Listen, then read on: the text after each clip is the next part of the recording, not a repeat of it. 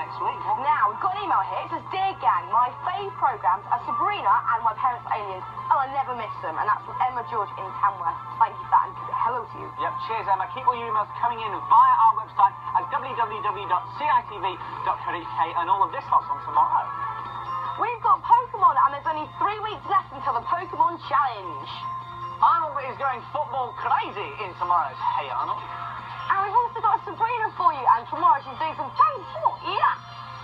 I'll tell you what, Fearne, today's been fantastic. Oh, I loved it. Can I come back tomorrow? You can indeed. Thank you very much. Yep, now, our funny question earlier on was who was trying to get a part in the Christmas play in today's Sooty Heights? The answer, of course, was Butch. But Fearne, who's the winner? The winner is Jordan Denton ITV because Celebrity is coming up next and they're going to have a look to see who might be the Christmas number one. You can join them next and we'll see you tomorrow at 20 past 3. See ya.